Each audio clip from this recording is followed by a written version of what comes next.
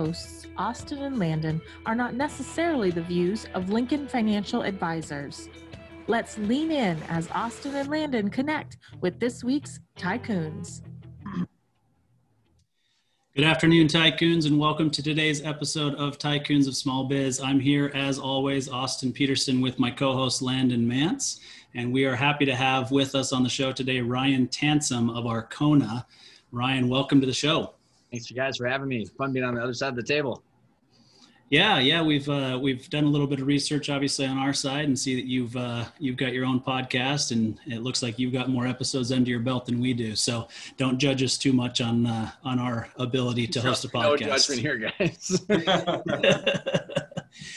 Well, uh, so give us a little bit of background. We like to start by having our guests tell us a little bit about themselves personally. We talked a little bit before we started about your family, so I know there's some information there. But you know, background on your family, marriage, those sorts of things, and then uh, kind of how you got to where you are today. Uh, so I have a wife and twin girls that are four, which keep me on my toes more than more than some of the business uh, journeys I've been through. Um, yeah, and uh, been with my wife for almost 16 years now. Um, and grew up in a family business. I don't know how much you want me to get into that story, but I grew up in a family business from the, my dad grew it from the ground up, sold it back in 2014. Um, I had uh, helped with a, effectively a turnaround for five, six years, was running the business, was help, help sell it. Um, and went through a lot of craziness. And over the last six years, I've spent almost every waking minute besides being a parent uh, learning about this whole world of valuations, value growth, and probably some of the stuff that we'll talk about today. Yeah, no, that's exciting, and I'm sure you and Landon will have plenty to talk about in terms of uh, parenting twins, and maybe you can give him some. Uh, I'm still looking advice. for maybe advice, you, maybe you can't. I don't know. yeah, I don't know. if you're looking for advice on that front, you know, survival has been my my my first and foremost strategy. but uh, it's all good, man. The only piece yeah. of advice I have is get them on a schedule. That's about all I've learned so far. In sync. There's a you sync them up. Babywise is the the method that we used. oh. Yeah, see, and, I, am telling you that the first that thought that came to mind for Landon there was Lance Bass. You know, you said in sync, and he he goes directly to that. So, uh, good one. Good one. I want to see the dance later, but maybe we don't have time for that. yeah. I always I, make time for that. Yeah. Well, that, that's how he closes every episode. Bye, bye, oh, bye. No. so. All right. Well, yeah, you, you actually talked a little bit about uh, the family business and, and helping with, you know, turning around and selling the family business. And I'm sure our listeners would love to hear about that. Um, just so our listeners know, c- kind of give us some background on Arkona first, what it is that you guys do day to day, and then and then take us into that uh, story of helping your family turn around the business. Yeah, and and I think there's even a, a lot of stories that you know the last six years from the guests that I've had on that validate a lot of the research that we've been doing. It, so Arkona, as as uh, what the company is right now, we do edu- we have educational services on valuation, value growth, and and we have fractional CFO services. So essentially, before COVID, we had a two-day boot camp. Um, we have case studies of two people that two companies that have 10 million in revenue, a million in EBITDA, and we we walked through. We created these five intentional growth principles, which we can touch on. Um, that are use it as a it's a framework to help people understand how to grow the value of their company with the end in mind. So it's about aligning all your strategies towards value growth, understanding how all the different exits could ha- uh, how they could all happen, how they could unfold, and how to intentionally grow to uh, accomplish that. So there's an educational format. Uh, because of COVID, we digitized it and we've been uh, doing online virtual cohorts. So six to 10 business owners go through it. Also, we can people can do it individually.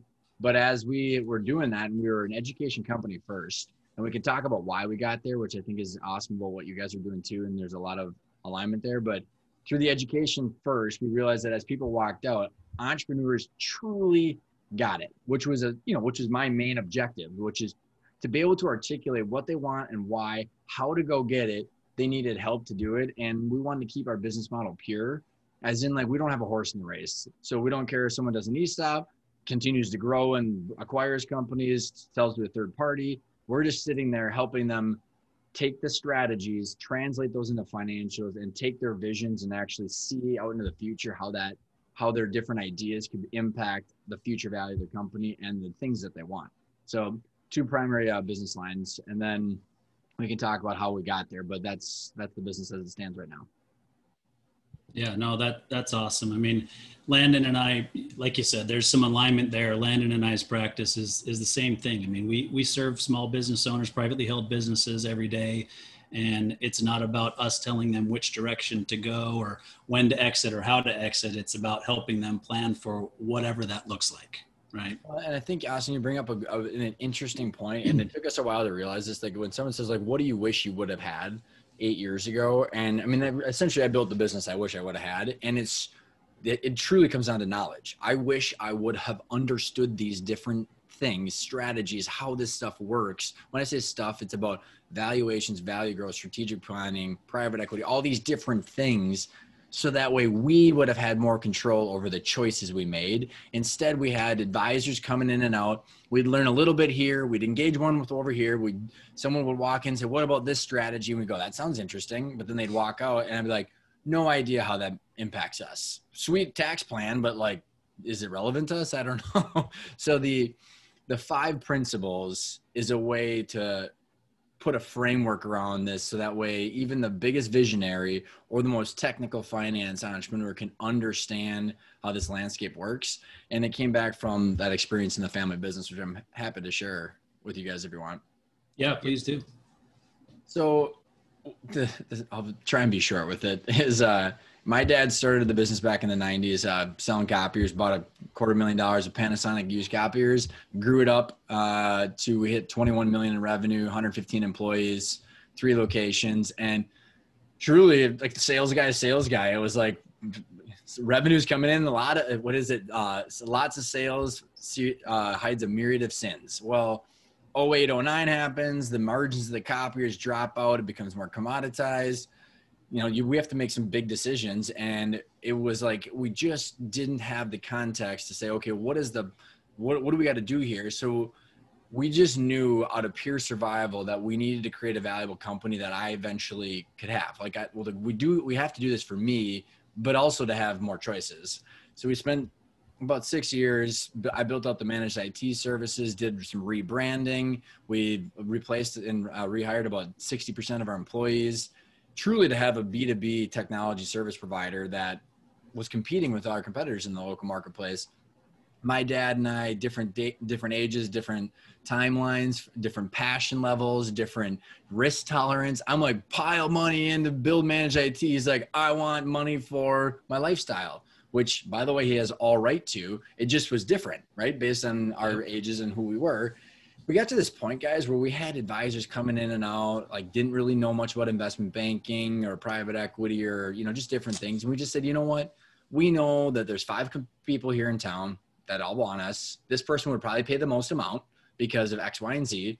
Kind of did a little mini controlled auction, which we can dive into if you need to, but um, sold the business and the to the max purchase price, but it was a strategic roll up so there was consequences that we didn't see necessarily in with eyes wide open which is mm-hmm. redundancies in people systems all the stuff that i had reinvested and, and created for three years essentially got shut down. And it was like oh well that we wouldn't have done that if we would have known that was the exit. We would have done different things. So it was just all about this understand how the end results could unfold so that way you can reverse engineer your plan into that out- outcome and then we paid a bunch of taxes, a bunch of debt, and then all, all of a sudden I was sitting in a cube next to an intern, and I was just like, I went from running a company with all like you know eight figures revenue to now I'm sitting next to this intern with a job.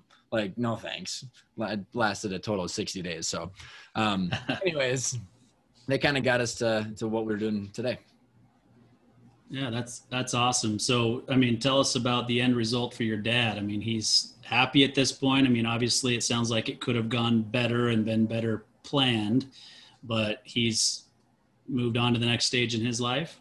Uh, yeah. So he's he quote unquote retired now. He, and and I speak a lot about the the podcast used to be called Life After Business. Now it's called Intentional Growth. Um, then the first principle of our the intentional growth framework is your drivers. What do you want from the business and why? And it sounds ridiculous if someone's sitting here going, well, I want money. Well, yeah, But I'll tell you what, I got 220 podcast interviews that say that's not it because I got people that have netted 100 million bucks that have a chip on their shoulder because they wish they would have done things differently or they have no passion or purpose after they don't have their company. So like you have to truly identify what do you want and why. I don't think he correctly went through that process himself. Hence the reason that I'm doing, and either did I, by the way, which is why we're doing what we're doing now. And to kind of, to interesting point to your uh, question, Austin, is that if you were to look in a vacuum of with most advisors, was that an optimal deal? Everybody go, oh my God, yeah, maximize your purchase price, how you did things, how everybody would say, yeah. But then I would say, and I would agree with you. However, we didn't know all of the other options. So we picked door one without getting any options to pick door, you know, one through 10. So what happened was, is that it's more of like, on, you know, the, the basis of education is the more you know, the more choices you have and that's kind of why we're at here is like so to answer your question austin i'm, I'm happy the way things went like unfolded but the, there's thousands of things we could have done in as alternatives. Not to say that whether they're better or not it all depends what do you want and how the, how does that impact the financials?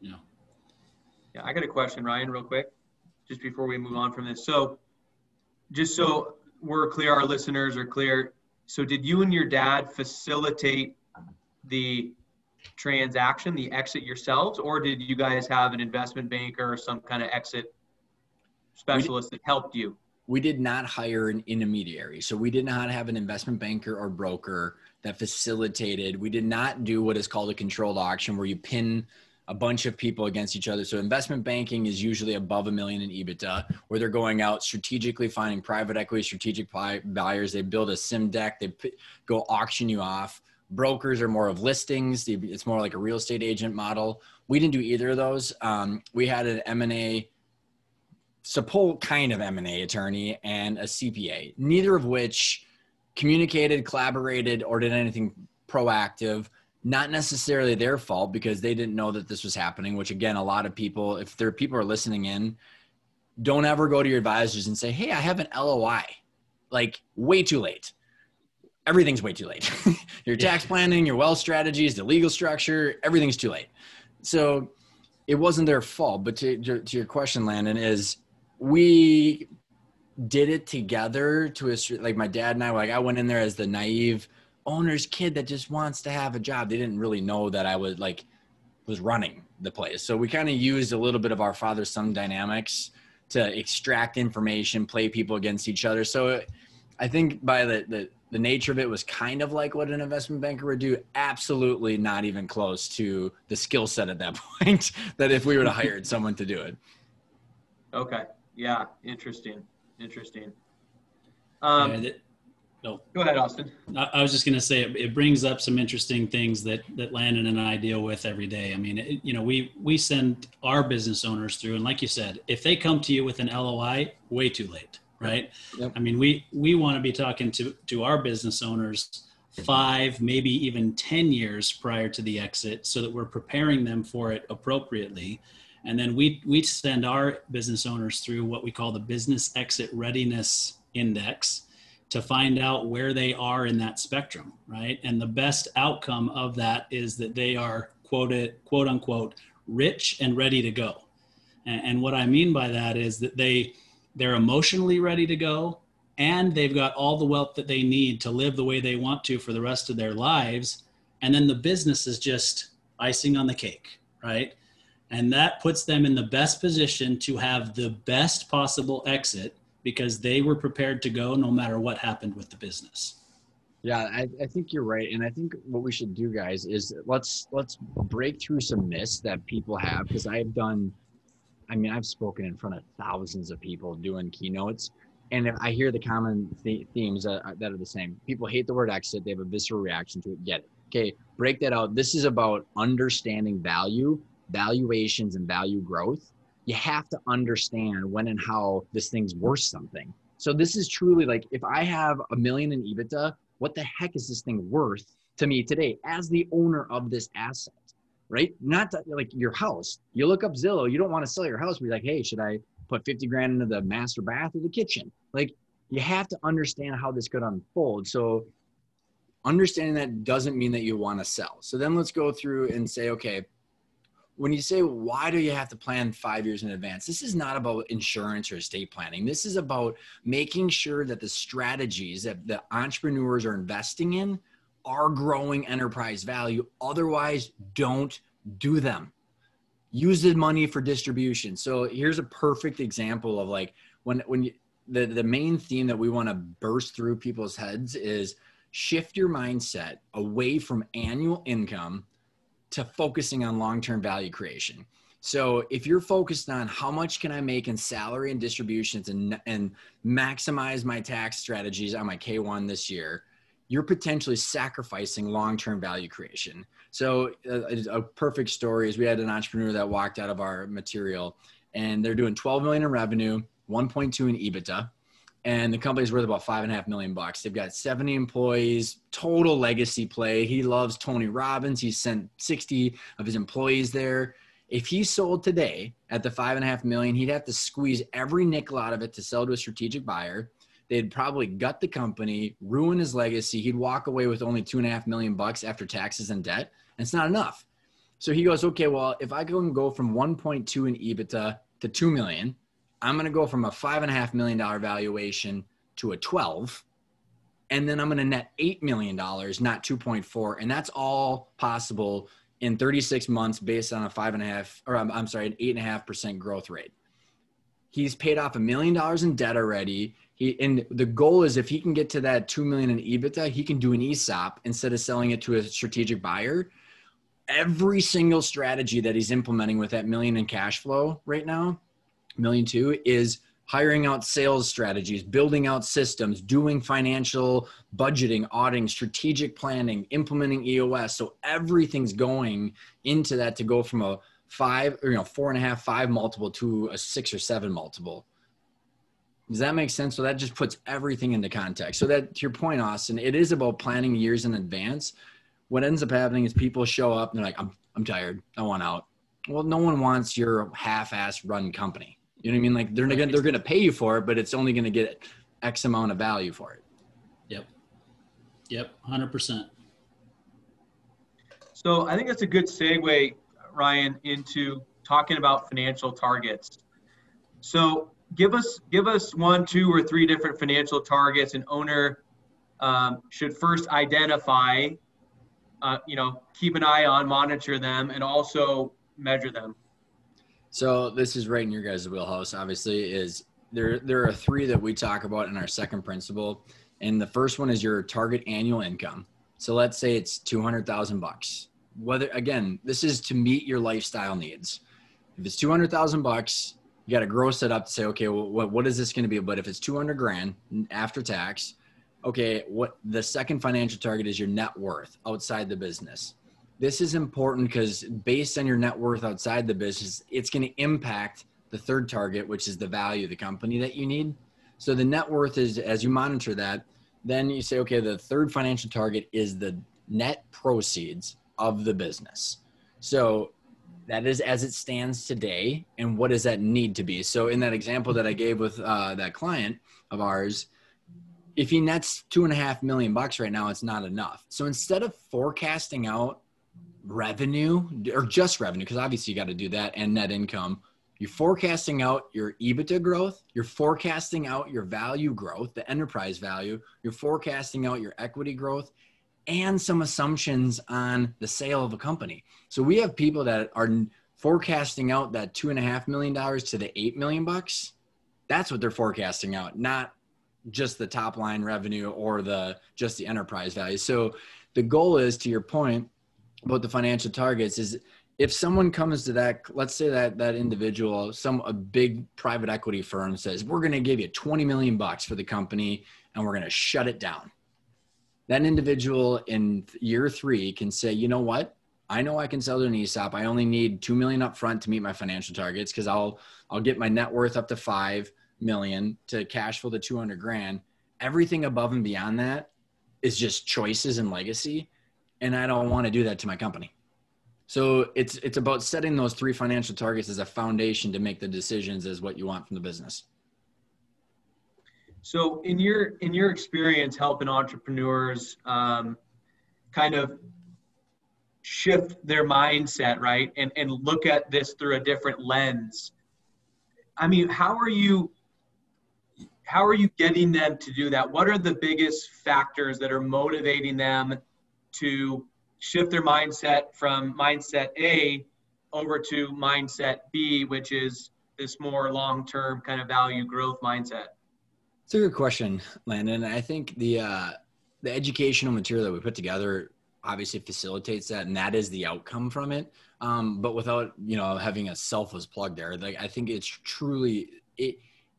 Most people do not understand valuations. Like I can't even believe it. I mean, there was a guy that I mean he's doing 170 million and tons of cash in his balance sheet, and they're focused on top line revenue and net income. It's like, by the way, that's not what your company's worth. Like, and then you go through the calculations, and they're like, huh. And and I think it's this. If you understand valuations, everything gets into context. Like, okay, if like let's say Landon, I was gonna sit down with you, and if you're if you're sitting across from someone that only is trying to optimize for that year, and I'm going to say, here's the deal, Anna. Let's let's put in a two hundred thousand dollar ERP ERP system. Let's hire a two hundred thousand dollar president. Blah blah. blah. You're going, dude. You just told me I'm going to spend six hundred grand this year of my cash flow. No thanks. And then uh, they, it's because they don't know when and how they're going to harvest this asset, so they see it as like an expense. Versus if you can say, hey, by the way, you're gonna you, you can still make whatever distributions that you want because you plan for that but we're going to reinvest that cash and it's going to we're going to reinvest a half a million bucks. And by the way you're going to go from a five multiple to a six multiple on a million dollars in ebitda you just increase your company by a million bucks. And if people don't understand valuations or when and how they can harvest that value they're going to be stuck in that annual suck the company and use the company as a cash flow mechanism instead of an actual asset yeah, excuse me, 100%. Yeah, I, I, actually had a meeting yesterday with some clients, excuse me, um, and their daughters were in the room talking about what, you know, basically we were planning end of life planning for this particular uh, set of clients and what their life insurance looks like, et cetera, et cetera. Well, one of the daughters just happens to mention, well, yeah, we just, we just sold one of our businesses and gosh darn it, like there's, we thought this was going to allow us to retire but after we pay taxes there's like almost nothing left. And i'm like well did, did you talk to somebody beforehand? Well no. I mean we, we've ran the business for 100 years. We, we know exactly what we're doing you know to sell it. We knew what it was worth. So they sold it but they didn't take into account anything else and didn't realize what that value gap was right? We talk about that the difference between your personal net worth and the value there and what you need to be able to retire comfortably. That's your value gap they didn't know what that was. They didn't plan for it. They didn't seek professional advice. And now, after the fact, they're looking for advice. Austin, it happens every single day. It happened to us. And that's where I can speak from true like pain. Is like, I mean, in that client that I gave that a story of, their personal wealth manager had that company on their, their personal financial statement at seven million bucks. And I'm like, first of all, it's not seven million bucks. Second of all, if it's five and a half, that's still enterprise. Then you take away the taxes. Then you take away the debt. It's only two and a half million bucks. Don't worry, that that entrepreneur already thought they were financially free. so it's like, no. And it, and by the way, my my business partner says that they're the most powerful force in human nature is denial. So the people that are listening in going, well, yeah, I know I could probably get a few million or a few thousand dollar valuation you're going to have to look in the mirror and say, well, my company's not run that well. What are you going to do about it? And it's just like the same thing of doing a health assessment. Like usually hard work is the outcome. You're going to have to go to work out and run and do these things for this outcome. So I think it's just truly about reconciling with that first. Yeah.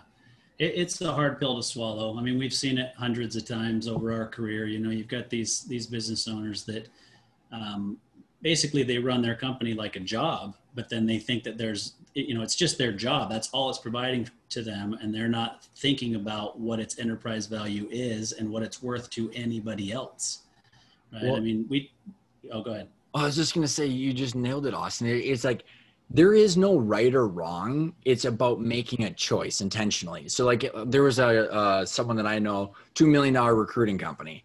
You're doing two million in revenue. If you're pulling in, let's call it half half a million to seven hundred grand in cash flow. If you times it by three, because I call it the three multiple hamster wheel, but if you're in three multiple, pay taxes, pay on debt, you're about a year, year and a half worth of income, and people go, well, why not just stay, keep working? And then they grind, grind, grind, wake back up, fifty-seven, grind, grind, grind, wake back up, sixty guess what? You still have a job. At some point, your energy or your boredom is going to come into this play. But the pro- my point about this this making a decision is, I call it purgatory, where if you're going to do the two million dollar business and you don't think it's worth ten, and you just know it's only worth this, save the money and then be a saver instead of blindly thinking that this is going to be worth six million dollars at some point. It's the use all the cash for my lifestyle and have this I'm delusional thinking that it's worth six million bucks at the same point. It's about just making a decision: do I reinvest to create value, or do I save to be to retire? Yeah, yeah, yeah. I, I I wrote a little article called "It's Okay to Shut Down Your Business," and the article was all you know. I, I write really short one-page articles, and I and this article said, you know, most of you reading this are not going to transition or sell your business and that's okay but you have to you, you have to do this planning on the side here so that when it does come time to shut down your business or you get sick you can't work anymore you get whatever happens that you're going to be okay or, or somewhat okay financially for the rest of the time that you're you know no longer getting an income so uh, uh, Ryan, this has been awesome, man. And uh, we've got, we want to extract a lot more from you, but uh, if we can, uh, just take a quick break and hear a word from our sponsor. Whether you're an established local company or a brand new startup, you can count on GBS to be part of your family. We're not just any benefits consulting firm, we're GBS. We have nearly 30 years of experience in group benefits, a strong sense of purpose, and it shows. GBS, believe in something better gbsbenefits.com. All right, tycoons, welcome back. We're here with Ryan Tansom, and, and we've already uh, extracted, I think, all kinds of information that any of you should be aware of, and hopefully you're copiously taking notes as long as you're not driving and listening to this. Um, but we uh, we appreciate the time, Ryan. We, we've, I mean, what I've identified is that we've got kind of a kindred spirit here, right? And and you approach things the same way that Landon and I do, and that's not always the case with with people who do what what it is that you do for a living. So that's refreshing to see and to hear. Um, but let's just assume. So first of all, let me throw out a statistic, and I'm sure this is a statistic that you're aware of. But you know, 80 percent, only 20 percent of all businesses that try to sell are actually able to be sold, or or you know, are able to effectuate a transaction, right? And so if people realize that and then actually know that only 5% of businesses are ever tried to be sold, then you realize how unlikely it is that you're going to sell your business at some point unless you make some changes today. And that's a goal that you have in mind. Because like landon just said it's okay to just shut down your business. It doesn't have to be your retirement strategy or your financial independence strategy. But if you want it to be or at least it's a part of it then you've got a plan for it. So let's talk about what some of the exit options are. If somebody has a business with some enterprise value, they put in the work to get there. What are the options that they have? So yes, I, I want to dive into, but I want to comment on what you said to Austin. Is that like the the and a couple more stats on the, those numbers because it, it, I think the industry, the exit planning industry, and you know the advisors are so diligently trying to break through to entrepreneurs to get them to think like this and the, the crazy part is is business is the most amazing mechanism to engineer wealth out there period. Better returns than real estate. With a real estate you have a you only like if you bought a commercial real estate building what you can only do so many things to increase the value of that piece of real estate. You can't scale it. There's no i mean like you're going to have tenants and rent and like you can do certain things but that's about it. So I think yeah, those stats are unfortunate, but if the if people understand the things that we're talking about, their ability to manufacture wealth is real. I mean, the whole private equity industry does this because they know that. And, you know, professional buyers come in and they want to take what is there to grow it to build the wealth that the owner left on the table. That's the reason people buy companies. So I think it's there, there's there's unfortunate stats, but there is some serious hope of you know it, it, takes hard work and the reason that you get rewarded millions of dollars is because it's hard work right? Like you're going to be doing things that are challenging. Um, so i just wanted to make sure that people get some solid optimism that there is uh, there's like some pretty cool things that you can do with the company if you if you have the energy. Um, as far as exit options austin to how we all know that there's like endless amounts of ways that someone could exit their business. So to set one ground uh, ground philosophy here is that there are when you say exit, the first thing I would say, what the hell do you mean by that? And are you talking totally sell, done, my job? Are you talking my ownership? So I think that the word exit should be eradicated from our vocabulary, and we should start talking about ownership versus management roles.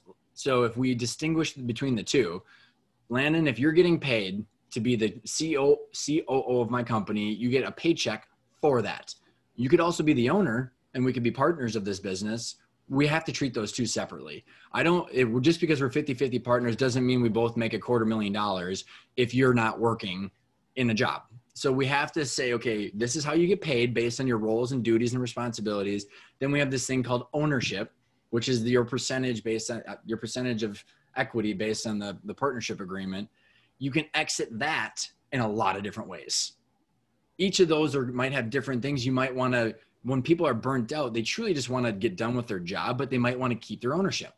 Some people might want to, you know, harvest the value, but, but keep being a leader and strategic visionary of the company for the next 20 years. You can do whatever you want. You just have to understand how this stuff works.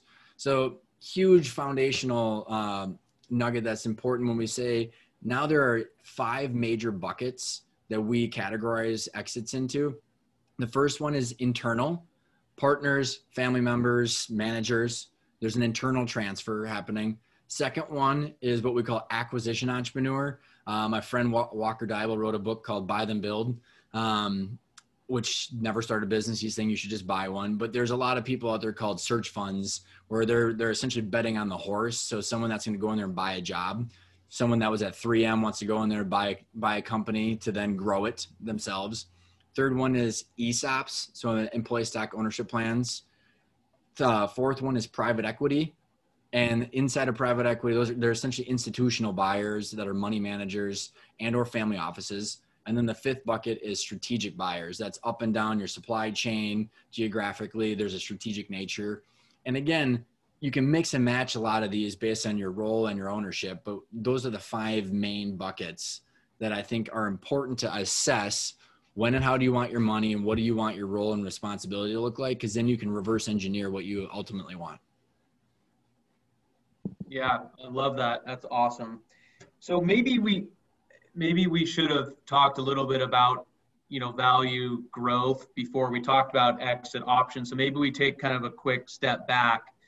So a business owner um, is of the mindset that they do want to monetize their business sometime in the future.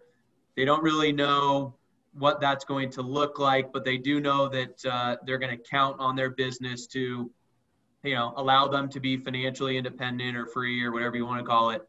But you know going back to your point about value growth um, help us understand you know what what are some things that these that these owners need to be looking for? What are some things that they can do some tangible things that they can do to increase their value? I think you talked about the eight functional areas you know the value drivers. So maybe you can talk to us a little bit about that yeah, and I think you give a, a good point. And I'll, it's funny, I'll actually challenge you a little bit. The reason we have increased values principle four is because principle one is what do you want? Principle two is your financial targets. Principle three is the exit options.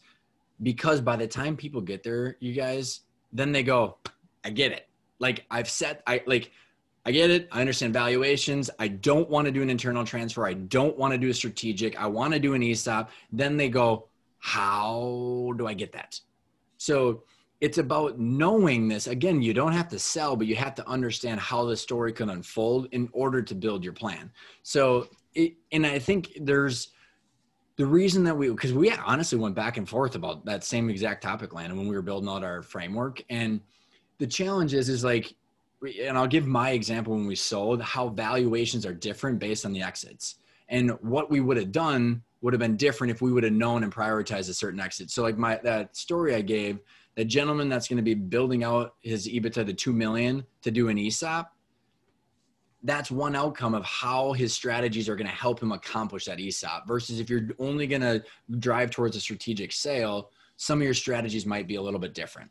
So another foundational um, piece I, I think is, is crucial is I think this world of valuations is intimidating for business owners who are not financial. I just got off a, a huge, um, I was on a panel and there was like 20 business owners in there. And one guy's like, I don't know what EBITDA means and it's okay.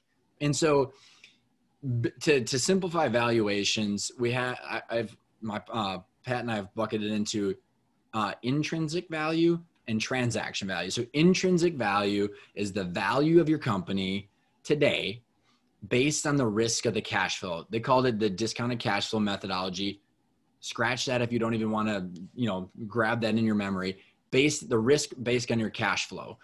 There's there's a certain rate of risk that people are going to apply based on the fundamental uh, operations of your company. Then there's transaction value, which essentially is when a buyer and a seller exchange hands. There's a purpose of the deal, right? So they start out at this financial valuation and then then there's the hey by the way synergistic values placing a premium on it. Well maybe if we're going to do the family the family transition we're going to discount it with the irs based on a lack of control and lack of uh, minor or, and minority share. It started at the the financial valuation but like there was a premium or a discount applied to it based on the exit option right? So now you start to see how these things all line together. So in if someone is intentionally growing to sell to their employees based on the, the intrinsic value, they're going to say, you know what, we need to make our cash flow more sustainable, predictable, and transferable. Therefore, we're going to need to place management team. I mean, they're in the process of hiring out six figure uh, management team, putting in phantom stock plans towards value growth, systems, ERP systems, doing audits and reviews, building up financial forecasting. They're implementing EOS, they're implementing strategic planning, all of these things to make the cash flow more sustainable, predictable, and transferable. In our, you know, to give you an example of how that might apply to my old business, our industry was changing from copiers and manage IT or manage print to manage IT. It costs us millions of dollars to reinvest in manage IT. We sold to a third party that didn't value those. So we didn't get the reward of those couple million bucks. However, if we were going to do an ESOP or if I would have bought it, we would have needed that to compete in the marketplace to make that cash flow more transferable and sustainable. So you, when you think about your exit option, you want to say, okay, well, like we have a, a, a client that he's got about a seven hundred thousand dollars Salesforce implementation on the table, and he's like, you know what? If I do an ESOP, I have to do that, and I will get the value of that when I do the ESOP. But if I sold to a third party, they're gonna just take all of our systems and shut them down. So you can build sustainable cash flow, but the closer you get to that eventual transaction of those exit options, you start to make the strategic decisions in context to where you ultimately want to be. Well, I'll tell you what, I've, I've made an entire career on challenging Landon, so you're welcome to challenge Landon anytime you want. I, I, I, think we're going to chalk that one up to Ryan one, Landon zero but I, will tell you what, I'll give you a that's where we started with, though. I mean, that's truly where we started with. Everybody wants to go towards strategic planning and growing. And I'll give you guys an awesome analogy that I've stuck with. So Simon Sinek's new book, uh, The Infinite Game, he talks about entrepreneurs always talk about where they're going. So, or how they're going to get there. So if I said, Landon, you're going on vacation, where are you going? And you're going to say, on a plane. No, I said, Landon, where are you going on vacation? Like, oh, first class. No, Landon, where are you going? No, I'm getting in an Uber, going to the airport, then I'm flying in first class. I'm saying, where are you going? Somewhere warm, warm. Okay, like we all talk about scale, scale, scale, grow, grow, grow. we're constantly talking about how we're getting there. No one has built a framework to say where the heck are you planning on going? What does success look like? So you have to understand and articulate that to then say, should we take a bus, plane, car? Should we bike? I mean, then you can start optimizing the path to get there. Yeah, and I, I, feel like I say this on almost every episode, but it, it, goes back to Stephen Covey's, you know, begin with the end in mind, right? And and if you do that, then you're you're getting putting the pathway together, putting the steps together becomes easier.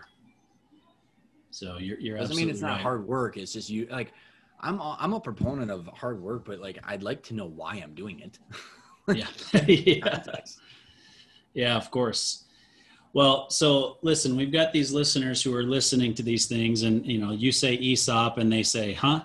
Right, and and you did go on and say employee stock ownership plan, so they they understand what that means and so forth. But you know, you've you've thrown out all these different things that they that need to be done to increase the value of the of the corporation, plan for what you know the exit option is going to be, all those sorts of things. But nobody knows how to get started, right?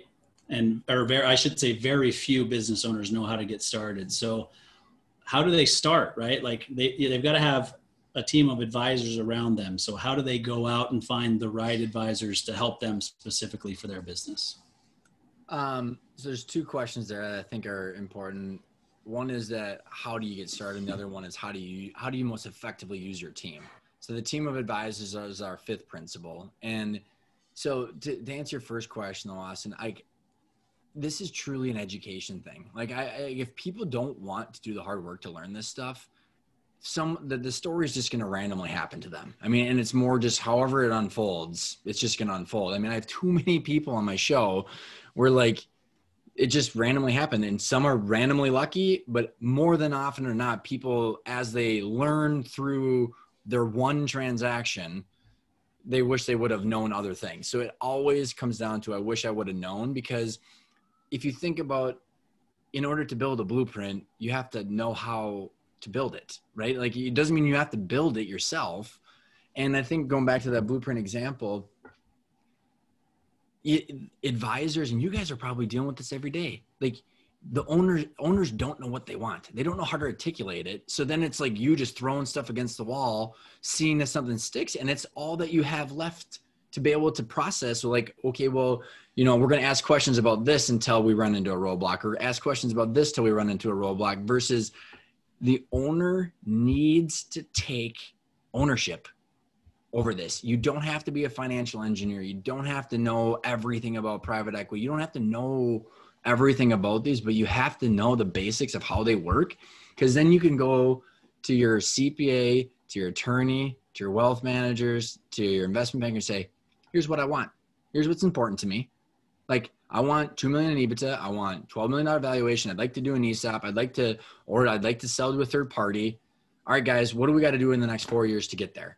Let's optimize our tax plan or estate plan. Should we do, do different things with our corporate structure? It you don't have to be an expert in all those, but you can at least get everybody marching towards optimizing what you've said is important versus different people giving different advice in different contexts and having no idea how to synthesize what everybody's saying uh, uh, it, what everybody's saying as it relates to your situation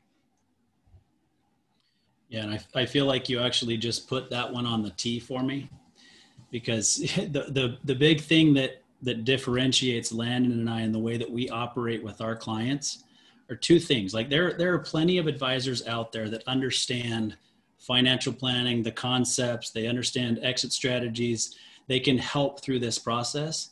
But the biggest differentiator that that we bring to the table, and it sounds like you do the same thing, is we ask a lot of really, really good questions to get to what the what is truly most important to the business owner. And then we follow up by then, okay, we've identified where we're going and we become the catalyst to get it done. Mm-hmm. Right.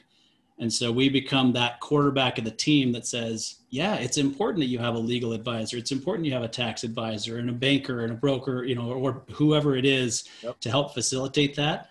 But we're going to make sure that you get it done and it gets done the way that you want it done. I had a, I had an M&A attorney on our, on our podcast and he goes, he's a great M&A attorney. He's like, it's not my responsibility to understand what they net, whether they're financially free or not. My goal is to get the deal done, the documents closed, the deal structure according to the legal structure of this. Super bright person, and he would definitely help because he understands money, but it's not his. That's not how he gets rewarded. So it's like it's same thing with the CPA. I mean, their their goal is to net proceeds, but like, is there risk or not risk? I mean, you have to have all these people collaborate. Otherwise, your chances of not optimizing the the plan are are enormous. Yeah, and somebody has to drive, right? Well, and I think you know one interesting insight that I've gathered, Austin, is that the in the exit planning industry that I've uh, gotten a little, gotten some exposure to is that and I don't know, I'm curious to hear about your guys' practice where like a lot of the exit planning industry came out and trying to certify all these exit planners, but like there are CPAs that know absolutely nothing about how to run a company. Or like they can do audits, but like that doesn't mean that you're making strategic decisions on hiring an executive VP of sales and how we're going to design our comp plans, product pricing fix. Are we going different geographic markets? Or I mean, running the operations and strategic plan of a business is one thing optimizing the tech- technical nature of corporate entity structures, wealth management, taxes, legal is the outside kind of like family office perspective, but then the inner guts of the operations need to be assessed, but that needs to be, you know, put into context of the whole picture. I just, I think there's a challenge where there's a lot of advisors that have never ran a business that are going in there and helping people with strategic planning. And I'm like, have they ever, like, I, I don't know if you guys have seen that where you know there's some the, the difference between operations and our principle four of increasing value versus team of advisors number five where there's a technical nature of the whole setup. Yeah i mean maybe landon wants to speak to this but we we have seen that and i i've been doing this for 20 years but throughout that 20 years i've always owned another business outside of financial planning that had oh. nothing to do with it because I believe that it makes me more qualified to work with my business owners. We, we own and operate our own practices, right? So we, we, we operate those businesses, but they're different, right? I mean, I've got a pretty small staff. It's different than having this other company that I've owned that has 26 employees in different Great. geographic locations, you know, so it's a completely different mindset and it, and it uniquely makes me qualified to speak to my business owners in their language and make sure that I understand what it is that they're really going through day to day. Well, you own it as an asset, right? I mean, I don't know if yeah. you got partners in it. I mean, it's it's truly you you've got this mentality because you're not in the day to day. You you don't you're not conf- conflicting your role every day that you wake up with with the value of the company, which people try to you know you got payroll that in distributions and the value all kind of goes into a blender. But yeah, you're right. It does provide you with a unique lens, a unique lens. Yeah and you and you said something important there is I, I own it as an asset and and all business owners own their business as an asset whether they realize it or not right? Sure because it is an asset it is an investment and and we talk a lot about how gosh you know most of your personal wealth is tied up in this one asset. I mean if you owned 80% of your personal wealth or more just in tesla stock would you be worried? Of course you would right? You're overexposed to one particular stock. You're doing the exact same thing in your business. You got to make sure that you're trying to offset that in other ways and prep for the monetization of that or turning it into a cash asset that you can then redeploy somewhere else. What's interesting is you think about your guys' the world of assessing someone's net worth, you're taking the net proceeds of the current value of that company into the context of your personal financial statement. And I, you know, it's interesting. I had this one guy, he said, well, he got an out of the blue offer for like 27 million bucks. And he's like, yeah, I can just ring it and I can, I won. I, if I sell, I won. And I said, Dave, you've already won. You own that company and that's truly what it's worth. You just happen to have all your wealth locked up into it. So if you were a family office investor, would you buy that business? Yes.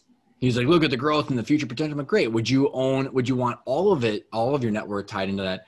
Well, maybe only half. Well, maybe we need to figure out how to divest of a third to half of the business then.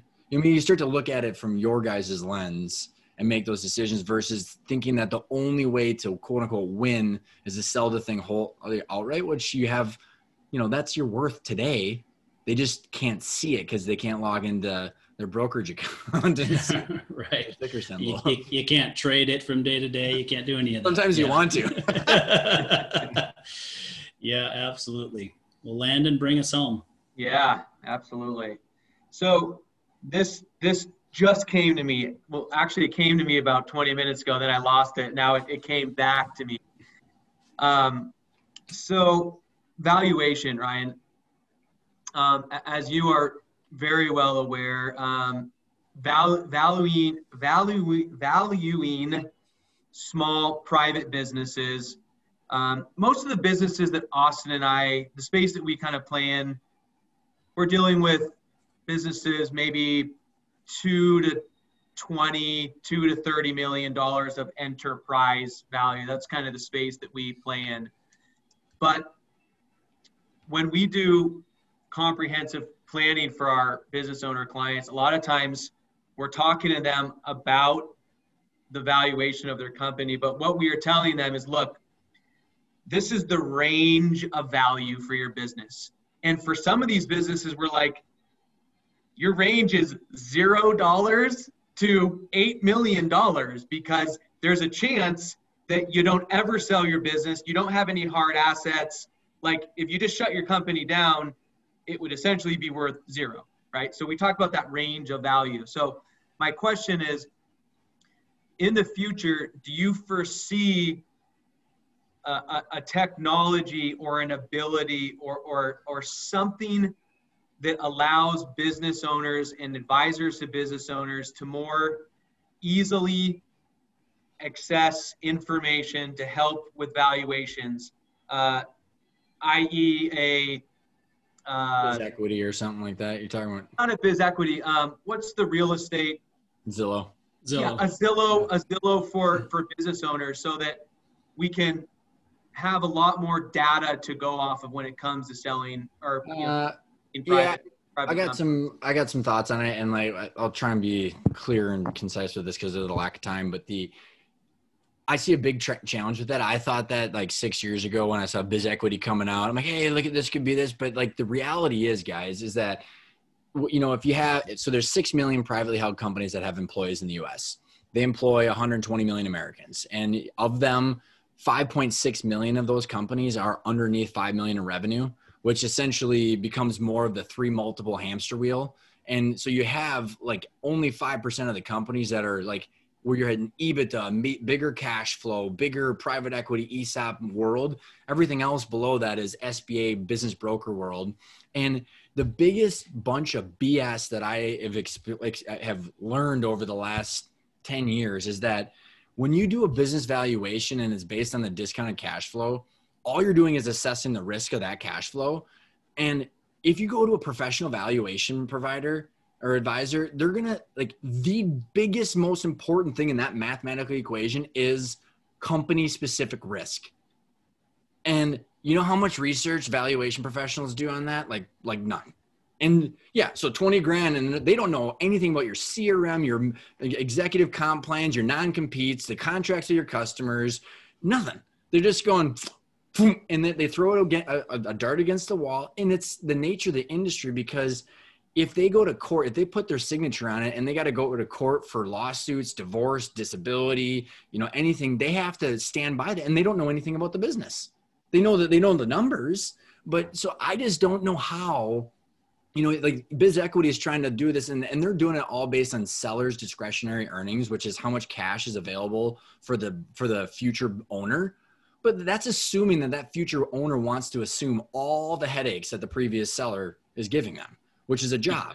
And so like I just don't know how you can quantify that like a house where you can do price per square foot, you can look at all the finishings, granite counter, all that stuff are filters in the pricing mechanism. So I just other than the the cash flow availability, which is what Biz Equity is doing, and and you know usually if you're looking at S, sellers discretionary earnings of that cash flow, it's never going to be above a three multiple. So the best thing that I think anybody can do in as in our fractional CFO services business, we put this matrix together together that says like the zero multiple all the way up to an eight, and then you have you have your cash flow over the top, and you say as I do this cash flow and these these multiples, what do I think? You know, if I'm doing certain things, you can kind of like, again, the the goal is to understand the range, right? Like I'm assuming there are some big assumptions if the, that that story got the eight million versus the zero. It's probably some strategic unicorn that swoops in, perfect timing in the perfect marketplace, gives them the eight million bucks. But like, what are the chances of that happening? Is that what we want to bank the plan on or not? You know what I mean? It's it's about what can we control in our plan. Yeah, absolutely. So as we press up against time, spend spend a minute or two, Ryan, and just talk to us about what you're seeing in the uh, you know mergers and acquisition in that space right now.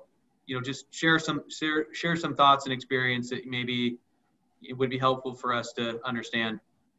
Um I, I probably won't be anything revolutionary to everybody but the uh i'd say industries that have been decimated have been decimated, right? I, I don't want to buy a hotel right now or a restaurant. I don't know if you guys do. So I think there's the common sense layer uh, that we have to lay on top of the industries. Um, and so I think that's one thing. And then there's the, because there are, there's a lot of deals going on right now of companies that have grown because of the business model. I mean, COVID accelerated a lot of trends that were already happening out there. I mean, I've got people I know where their company doubled, tripled in size in the value because of it's more needed or more like aware at this point. But in the overall like um in the overall industry multiples are a little bit down. And th- and some of that's driving that is uh seller or buyer is not able to do as intense due diligence from lack of traveling or getting on site. But it's also the banks that finance the debt behind the deals are not as willing to lend. I mean we all know that the banks pulled 40 plus billion dollars because they know that 2021 is going to be real hard for a lot of people. So I think that they're just a little bit more skittish to lend to the buyers. So I think that that just naturally pulls down the enterprise value a little bit, but things are still happening. I mean, if if you got a good business, now more than ever it's been proven that good balance sheets and good cash flow is just that good balance sheets and good cash flow. yeah. And it still comes down to making good strategic decisions, right? Because, like you said, you may not want to buy a hotel or a restaurant today, but you may want to buy a community kitchen, right? And just let multiple only delivery, you know, delivery only restaurants make their food in that kitchen. You know, there, there are still opportunities in this totally. marketplace. There always are. You know, and, and valuations is what is the risk of the future cash flow. And the uncertainty is factored into that price period. Yep. Absolutely. Yep. well one one strategic decision that could uh, turn out to be very beneficial for our listeners is to find track down and engage ryan and his team. So how do people how do people find you ryan online i'm assuming website arkona.io a-r-k-o-n-a.io the podcast is out there. 220 episodes. Our online course is out there. And that's that's where it all starts. It's just truly learning this. So you can do it yourself. You can do it with a group however people learn best. But um, yeah it's a, just truly about learning how this stuff works so that way people can make their own choices that's great ryan very cool, man. Well, we, we sure appreciate your time and effort to come on. And uh, I have no doubt that uh, this will be one of our uh, top rated, most downloaded uh, episodes. So thanks a lot for your time, Ryan. Really appreciate it. Appreciate you guys having me on. Yeah, thanks, Ryan. Really appreciate it. And I'm, I'm sure we'll be reaching back out and asking you to be on again. I feel like our guests would be happy to have you on every single week. They'd learn so much. Careful what you wish for, guys. All right. Well, thank you very much.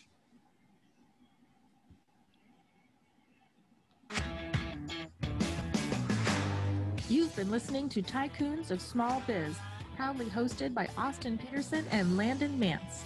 Austin and Landon are comprehensive financial planning professionals specializing in financial, estate, and succession planning for small business owners. Austin and Landon have offices in Scottsdale, Arizona, and Las Vegas, Nevada and represent clients in 14 states throughout the country. Join Austin Landon and the featured tycoons live every Tuesday at 1 p.m. right here on Business Radio X and your favorite podcast platform.